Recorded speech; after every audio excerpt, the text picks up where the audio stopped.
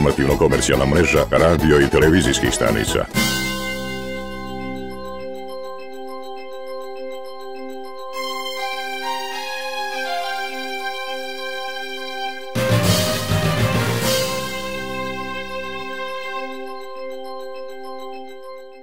Popularnosti Vikom radio televizije kod gledalaca i slušalaca govore i Oskari popularnosti Republike Srpske, zlatni mikrofoni BiH, zlatne numere dijaspore u svijetu, za najslušaniji mediji na satelitima, dobijani skoro za svaku godinu uzastopno. Preksinoć u Hollywoodu, večeras u Banja Luci. Tako je, po prvi put direktno iz Hollywooda, deveti Oskar popularnosti samo kod nas u sportskoj dvorani Borik. Ne bi vi cure ništa oprostile Nikoli Rokviću, vidim ja. Jel tako?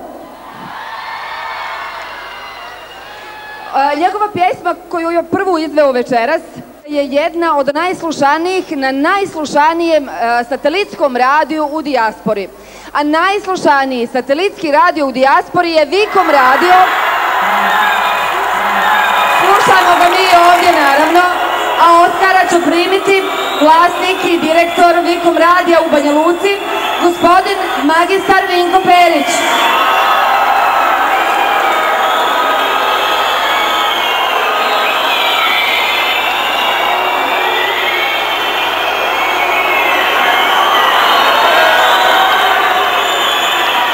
Deset godina smo zajedno, deseti Oskar.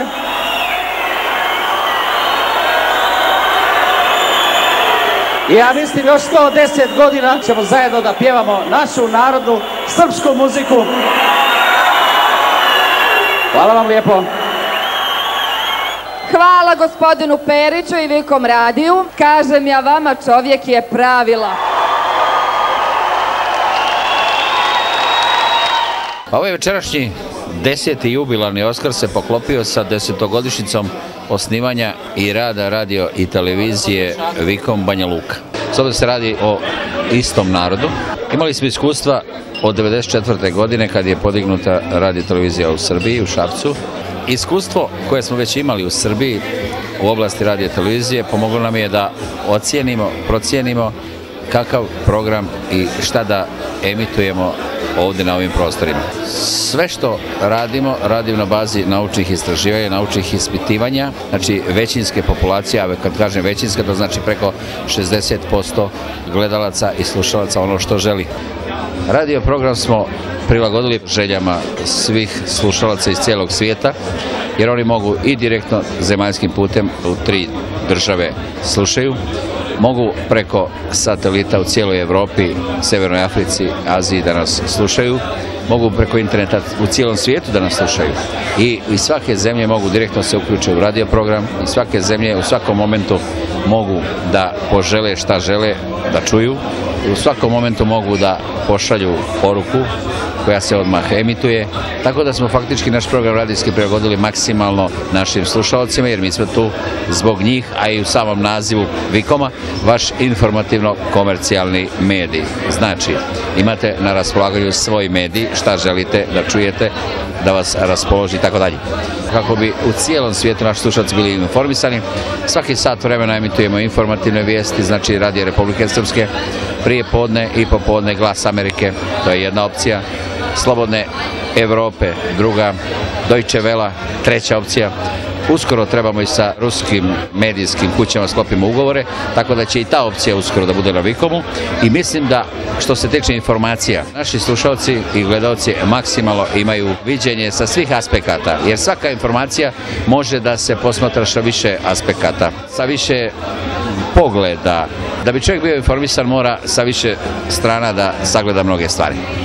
Što se tiče naših gledalaca i slušalaca, možemo da im poručimo da ćemo uvijek biti uz njih, da ćemo uvijek govoriti istinu, ali onu najrealniju istinu.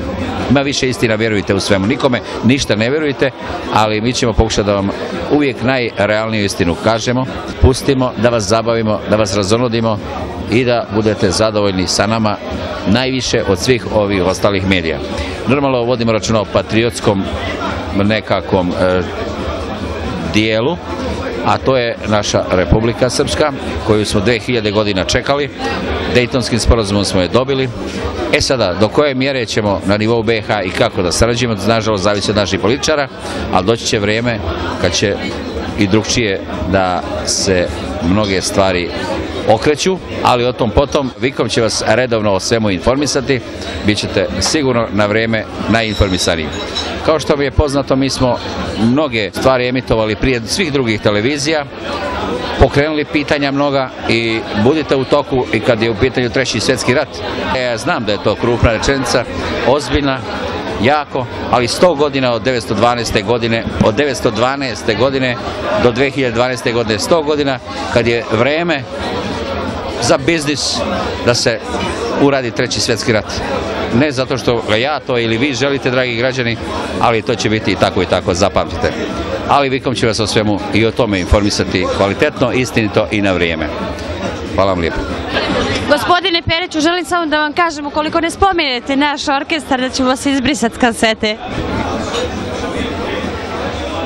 Poštovani gledalci, slušalci Vikom radio televizije, s obzirom da smo večeras dobili desetog Oscara, znači desetu godinu našeg postojanja, popularnosti kod naroda, većinskog znači naroda, u poslednje vrijeme moram da dodam da je to zaslugom i univerzalnog, jedinstvenog, neprevaziđenog, ekskluzivnog Vikom televizijskog orkestra, znači orkestra Vikom radio televizije. To je jedna marketinško propaganda televizijska da, ne, da kažem caka jako popularna, jako interesantna.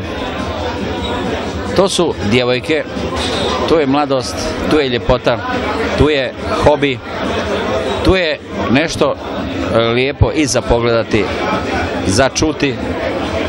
One, kao što sam večeras rekao, sviraju e, srpsku narodnu muziku. One učestvuju u nečemu očuvanju jedne kulture i ovog okruženja i ovog naroda u istorijskom smislu veoma će puno značiti u budućnosti. Ja bih veoma ozbiljno izneo jednu činjenicu da postoji neki, ja ću reći, kreteni, jako mali broj, ili postoje ljubomorni, zavidni, da ne kažem bezobrazni bezobrazne osobe koje baš ne simpatišu orkestar, ali ga puno gledaju. I ovog puta kao ozbiljan čovjek do te mjere bih e, svrstao njihovu opasku neargumentovanu, ljubomornu, lažnu protiv orkestra kad imaju nešto da kažu, a nemaju nikakvog argumenta, sem što su zli ljudi da oni vrše etnocid nad kulturom srpskog naroda u tom kontekstu, koji je ravan genocidu. Znači, vrše etnocid nad kulturom srpskog naroda, srpskih pjesama, a mi nemamo ništa protiv ni drugih pjesama, apsolutno. A zašto bi neko imao protiv srpskih pjesama i srpskog naroda? Automatski i protiv orkestra Vikom orkestra, gdje ako se nekome ne sviđa, ne mora da gleda, ali svi gledaju i daju sebi za pravo komentara svakakvi, a imaju šta i da čuju, imaju šta i da vide, samo su zli jezici i pokušavaju komentarisati nekakve gluposti, dodavati laži, neistine, koje će, vjerujte, dok zaživi pravna država, sigurno biti na sudovima i veoma, veoma velike oštete će morati da sudske plate. Neće to biti male oštete, sve se priprema, onaj ko bilo šta ima da kaže, da doda, slobodno kad dođe u Vikom radio televiziju, ima e-mail, neka pošalje, telefonom nek nazove. I ako ima šta da predloži da bi bilo bolje, mi ćemo rado prihvatiti. A da neko komentariše negativno još, da laže, mi laž ne trpimo, za laž će svako da odgovara po mnogim pitanjima, vjerujte mi. Taj naš Vikom orkestar, to je orkestar mladih, finih, kvalitetnih mladih osoba koje e, to rade iz hobija. To je njihov hobi, one rade sve profesionalno svoj posao u radio televiziji. I ja kao čelni čovjek kompanije Vikom sam prezadovoljan sa njima, njihovim poslom, a i one su smatram e, i mislim sigurno po svim pitanjima zadovoljne jer sve njihove želje koje Vikom kompanija može, a može mnoge stvari da ispuni, ispunjavamo i one u svakom slučaju rade jako kvalitetno, dobro posao svoj profesionalni. Ovo je hobi i ovo je u suštini jedna fina zabava za svi u vas koja u budućnosti ima veoma, veoma dobru ulogu ka nečemu što se sad može još samo naslutiti.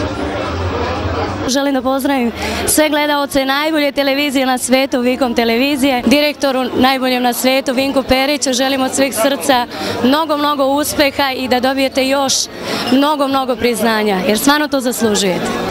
Sa nama je večeras i omiljena Jaca. Jaco, dobro večer i dobro nam došla. Dobro večer i veliki pozdrav naj, naj, naj, najboljoj televiziji.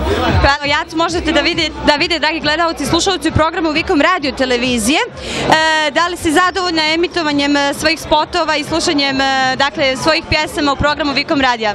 Kad sam izašla pred ovu divnu publiku koja je zajedno sa mnom pevala omiljena i kada sam videla znači da, da, da, da vole moju pesmu, da su dizali ruke, e, to je za mene pravi uspeh. Pošto živim u inostranstvu, moram da priznam da sam često prisutna uz uh, moj ovaj, radio i da slušam ovaj, dosta uh, radio Vikom i uh, uvek sam uz vas i ovaj, srce mi je veliko. Ali zato moram da kažem isto da je tu moja mama koja redovno to sve prati i ono zvrcka me telefonom, evo te na Vikomu ovaj, i stvarno najbolji ste, definitivno.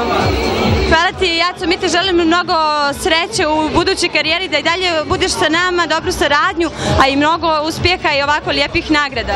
Moram da kažem da još u životu nisam videla lepši orkestar. Dragi moji, najlepši orkestar to su Vikomice i najbolja televizija Vikom televizija. Ljubav vas vaša Jaca Ivanović.